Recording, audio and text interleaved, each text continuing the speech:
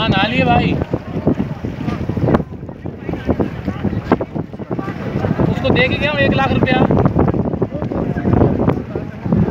एक लाख खर्चा होगा, फिर बैंक से निकाल रहा हूँ।